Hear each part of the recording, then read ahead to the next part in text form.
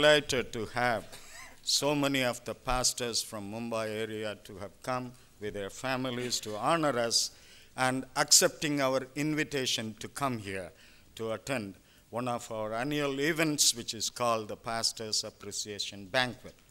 And this we are doing uh, to honor all the pastors, about which our speaker will explain why, what is the need, and why we delight in the presence of you. I would like to say I am what I am today because my pastor nurtured me, lifted me up, and made me what I am today based on the Word of God.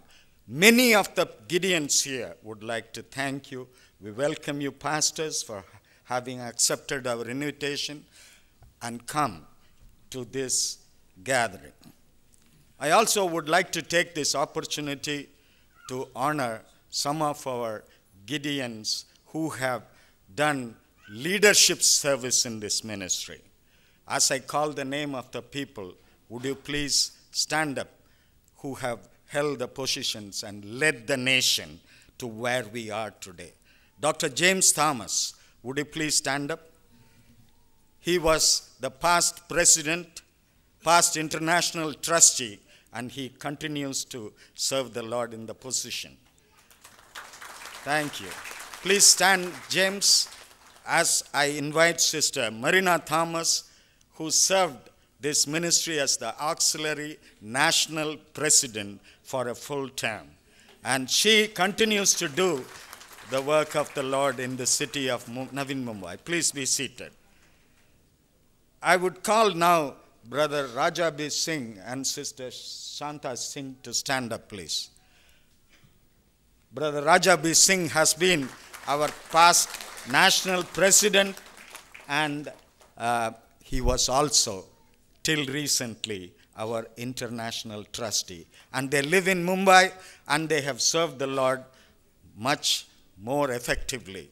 Honestly, to tell you, I am a Gideon recruited by him in this city of Mumbai. Praise the Lord. I would like to call upon Brother M.V. Abraham. I feel I should not ask you to stand up, but I would like people to see you, Uncle Abraham.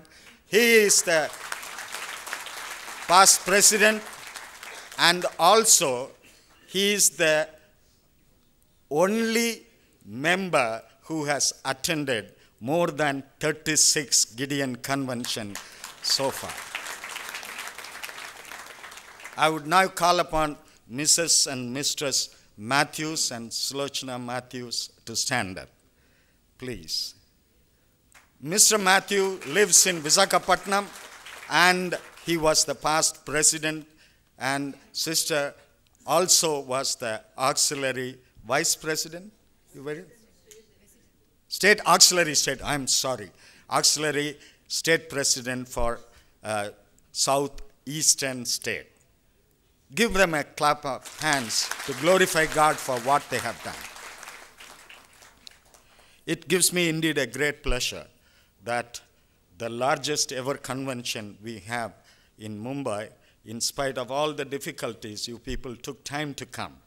God bless you all. As we proceed further, I would call upon Professor Sam John, our National Vice President, to read the Word of God.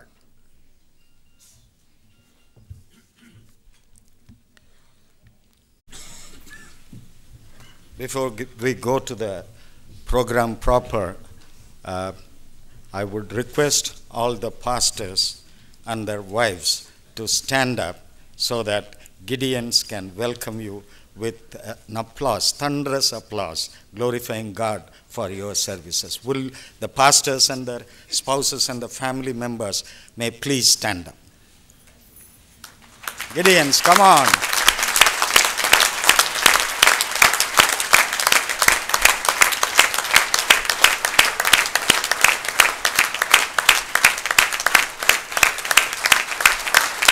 Louder.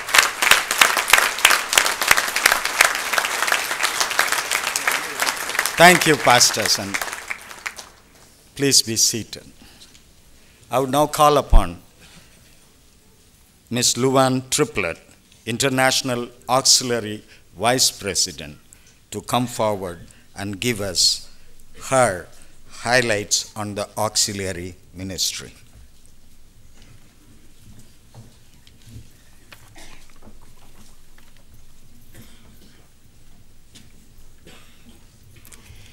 Leanne Young started nurses training as a rebellious, headstrong teenager. She was willing to stand up and fight for any cause that she believed in. Well, because of this leadership quality, she was elected president of her nursing class and was invited to attend the first student nurse convention. There, she received a copy of God's Word. It was a medical testament from the Gideons. But she went back to her room and she placed the medical testament in the drawer with her other souvenirs. Months went by, and Leanne became more bold and more rebellious. She was so deeply in trouble. Her grades had dropped, her attitude was very bad, and she eventually was going to be expelled from the nurse, School of Nursing. The administration decided to give her one more chance. Well, you know, Leanne went to her room. She pulled out the medical testament. She opened it to the back, and in the back, she started reading. It first told her, God loves you, from John 3:16. Then she read how all are sinners from Romans 3:23. But then in Romans 6:23 she read about God's remedy for sin. Until then she didn't know or understand that all may be saved now. Romans 10:13. Leanne knelt down beside her bed and she asked Jesus to come into her life. And praise God, he did. She now serves at a local nursing home where she uses this medical testament to win others to the Lord. As the Wives of Gideons, nurse conventions are just one area of distribution for the auxiliary. We also distribute to jails and prisons. We place Bibles in dentists and physicians' offices and those in the medical field. You know, hospital nurses have shared with us that many times they're the last person their patients see before going into the presence of the Lord. They can read them the scriptures, though, on the back page of that testament, and they can give that patient the opportunity to have assurance of eternal life. You know, when inmates were asked by the chaplain of a women's prison, Why are you grateful for the testament you've been given? Here are some of the replies. You can read it and hold it next to your heart while you're away from your babies and husband. It teaches me to live my life and how to let God help me. Another said, The Bible is transforming my heart, my soul, my mind. Thank you. Another one said, It has helped me through some of my hardest times doing time. You know, as auxiliary members, we not only place God's word, but we pray regularly. We pray for the ministry. We pray for the scriptures that are given all over the world. And we pray for you, pastors. We're encouraged to have a personal prayer time as well as to meet regular for prayer meetings. We're also encouraged to purchase personal workers' testaments that we can use with a personal witness as the Lord gives us opportunity. Last year, the auxiliary placed almost 4 million testaments around the world, and over 400,000 of those were placed here in India. We want to say thank you, pastors and special guests, for your support that makes it possible for the Gideons to give God's word that brings, peace and salvation to those that are hurting. You know, giving God's word is one of my favorite parts of the ministry because of his promise to us in Isaiah 55:11. So shall my word be that goeth forth from my mouth. It shall not return to me void, but it shall prosper, but it shall accomplish what I please and it shall prosper in the thing for which I sent it.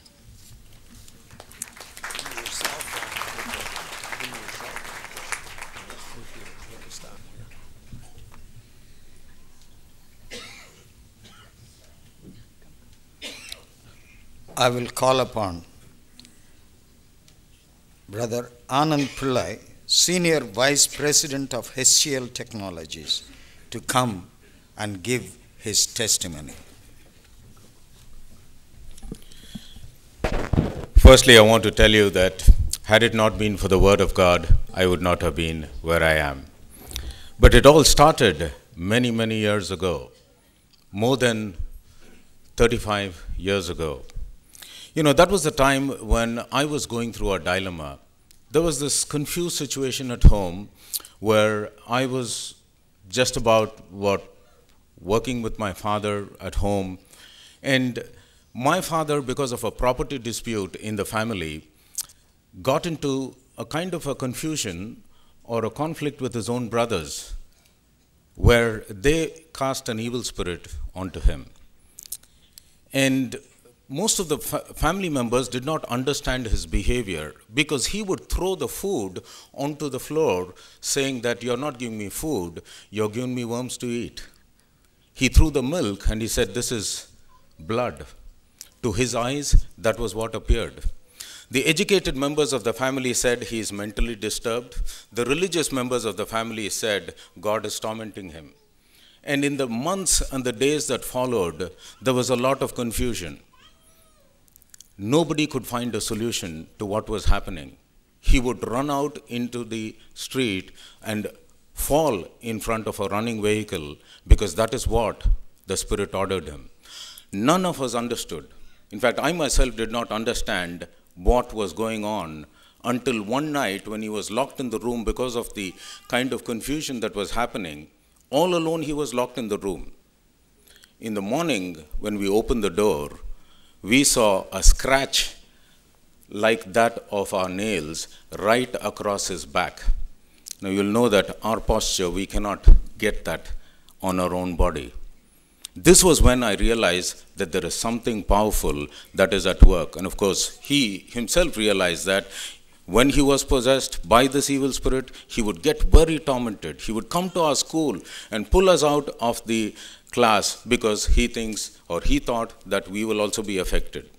But to cut the long story short, one day, as we were at home, you know, we sold one home because that was what was possessed. We went to, moved into another place, and that was where all by himself, when we were outside playing and my mother had gone to the market, I came home when, to drink water and I found him hanging right in the ceiling. The evil spirit had tormented him enough. I did not understand. I was only 10 years old. I got up and cut the rope, and as the body fell, there was a lot of others who came in and they tried to see what had happened. My mother, uh, later in the day, came from the market. I got confused. Why did this person whom I loved most and who loved me leave me? But the things that happened, the years that followed, this happened in 1970, the years that followed, two years, every two years, there was a death in the family. Another two years after that, three years actually, my sister who got married, there was a confusion again, not confusion, there was a conflict because in a Hindu system, we have this dowry. A lot of gold and uh, jewels and money was given, but one year after that, more money was demanded when my mother went to call her for the Pongal festival. And she said, Listen, why should I be an item that is traded? In fact, there was one statement that my brother in law mentioned. He said, You can take your daughter, but when she comes back, she will come back with that money and gold. She went into the kitchen, consumed poison, and she died.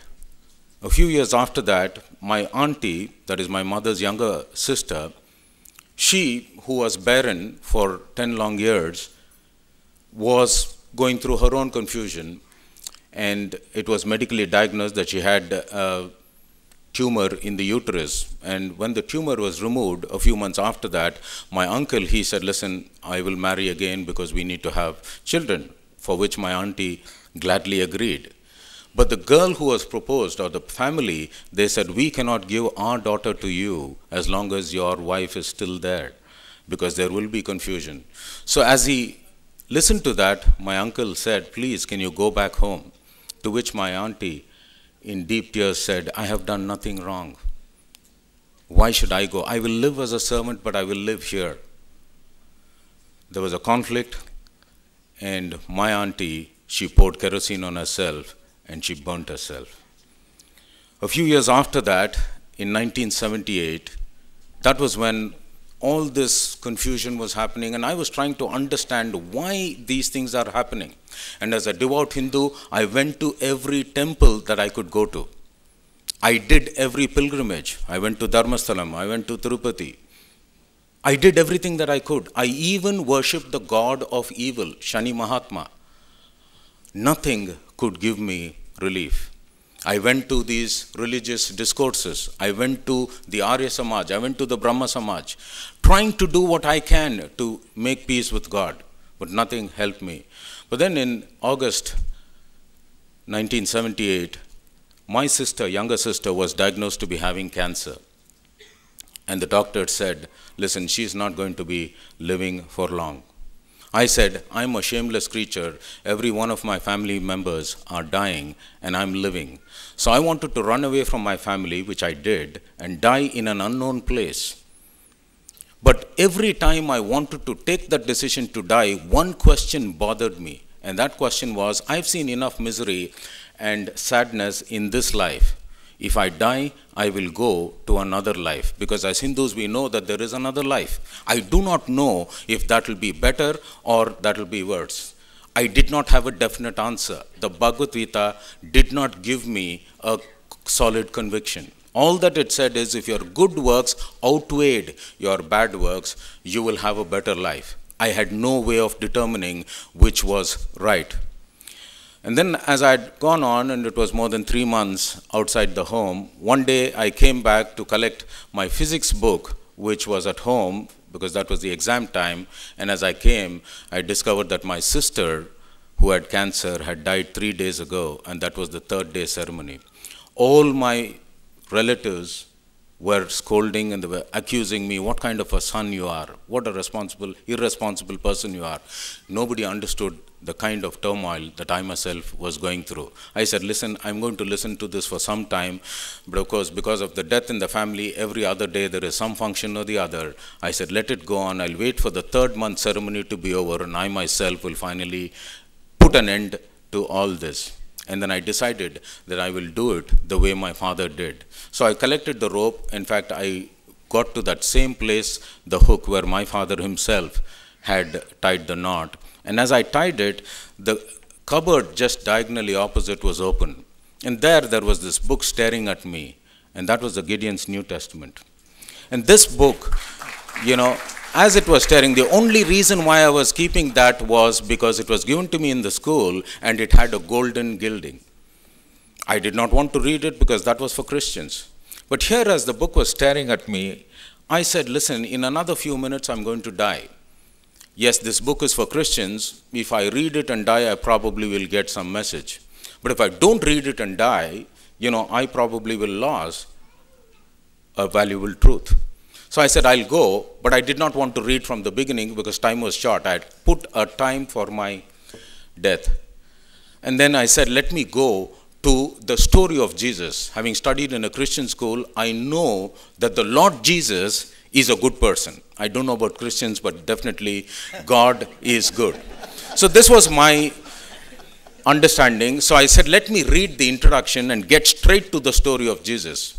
Unfortunately, there was no introduction in that New Testament.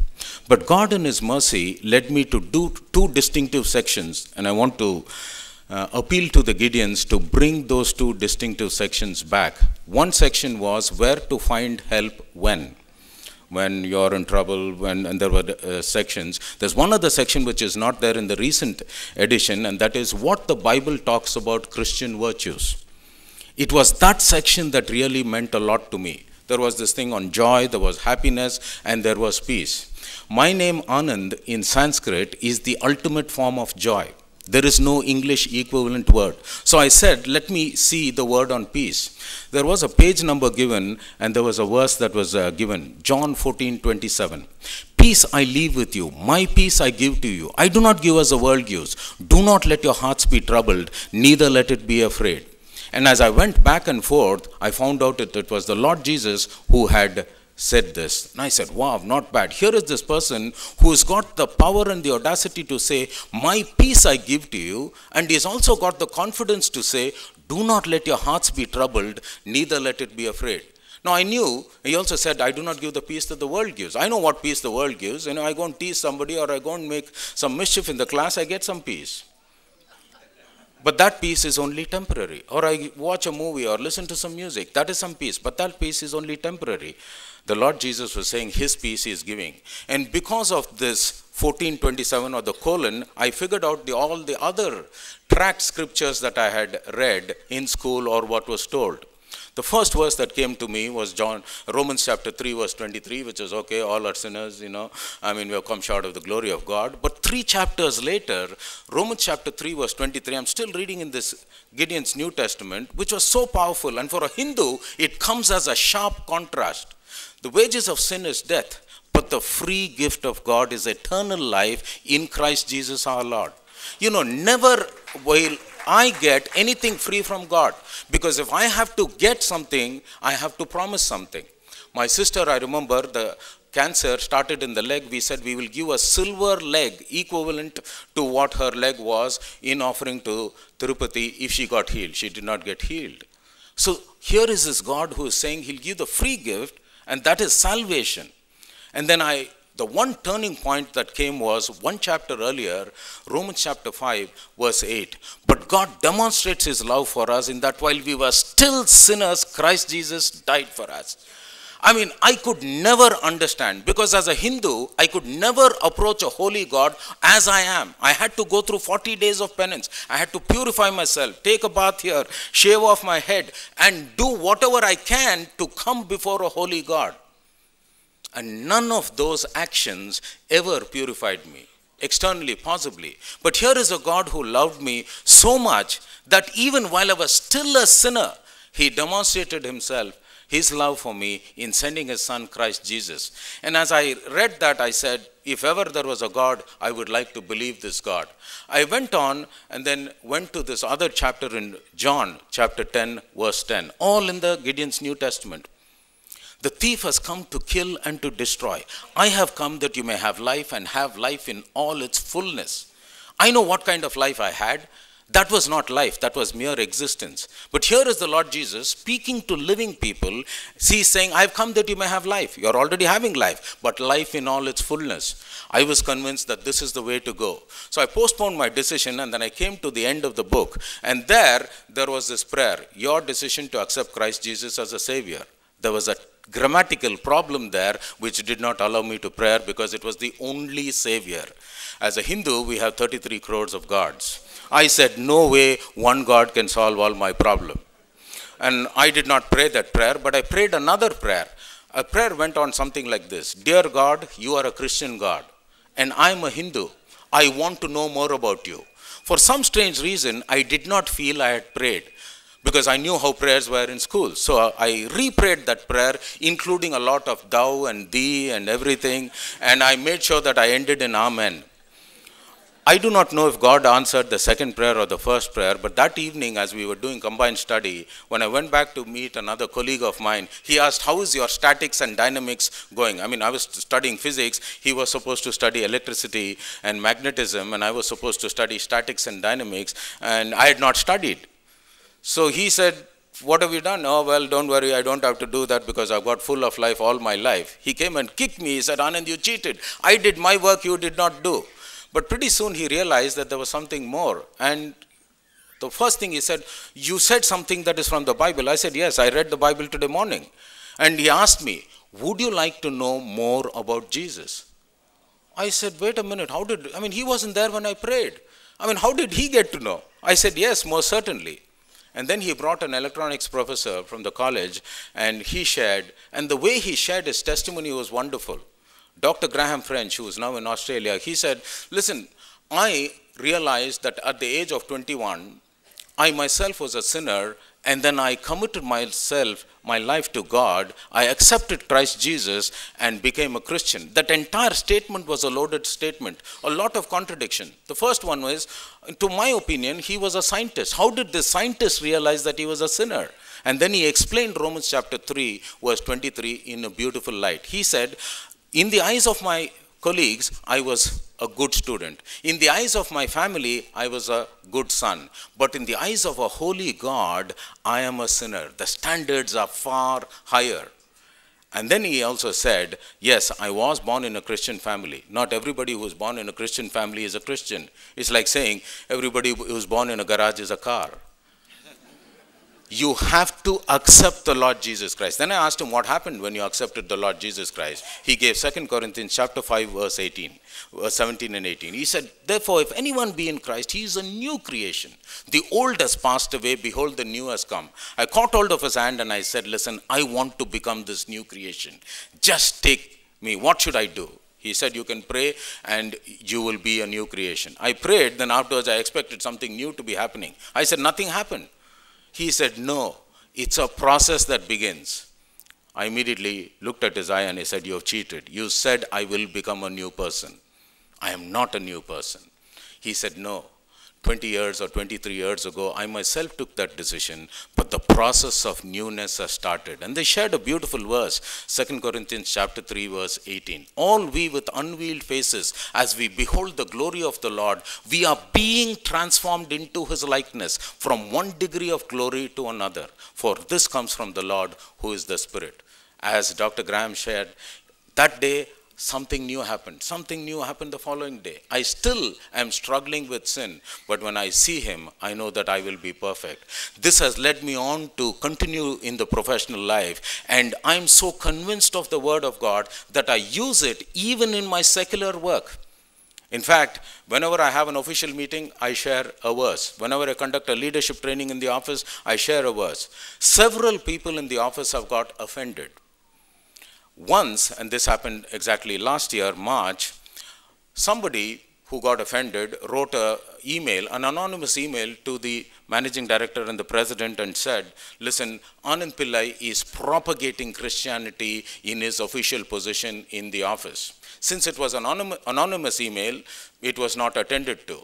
But there was a word sent to another senior vice president, say, listen, ask Anand to be a little bit careful that word came to me. But the second one was even more accusatory. There was another mail two days later, somebody, again an anonymous mail, it was basically google123 at yahoo.com. And the person just wrote that mail, and this person posed himself as a Muslim, and he said, Anand degrades us. He is projecting Christianity to be a superior religion. In fact, in the subject of that mail, it was said, HCL IT services or Anand Pillai's Christianity services. That was the subject of the mail. And in that mail, it was said that I quote the Bible and I mentioned that, you know, Jesus Christ is a great Lord and everything. And this time, because it was even more direct, and this particular mail was marked to 40 other people, senior people at the general manager and vice president level, that mail was forwarded to me. With no comments, my president and managing director, he just sent it to me. I looked at that and I was very disturbed. And for some strange reason, I did not even share it with my wife because I know what she will do. She said, You're too aggressive, just, you know, calm down because there was one time when I came out with a very aggressive tract, you know, for executives. We have, you know, the shirt pocket. So here is this tract with this sticking out, and everybody in the church they said, you know, put some catchy title, how to have peace and how to have, uh, you know, solution with God or how to get back to God. But I came out with a tract which said how to go to hell. and then when you open the tract, it basically says, proceed as you are, you will land up there and then when you close, how not to go that path and come. So I'm known to be aggressive. So I did not share my with my wife because she'll say, calm down. I was going through my own turmoil, but as I prayed that Saturday and Sunday, Monday early morning, I got enough courage to write a reply to the mail. And as I wrote the mail, I copied it to all the 40 people, and this is how I ended it. I said, Everything that this person has said is true. Yes, I do use the Bible. Yes, I do quote the scriptures, and I gave all the scriptures that I was quoting. Ecclesiastes chapter 10, verse 10. When the axe is blunt and its edge unsharpened, more effort is needed, but skill will bring success. Ecclesiastes chapter 7, verse 3. You know, if you wait for perfect conditions, you will never get anything done. Romans, uh, Colossians chapter 3, verse 23. Whatever you do, work at it with all your heart, as if you're working for the Lord, not for men. And then I went on quoting all the other scriptures, and then I ended with this particular paragraph. I said, I'm a Hindu. I have this as my personal choice. I have taken a choice to read and to worship the God of the Bible. this is something that I will do and I will continue to do. God is no man's debtor.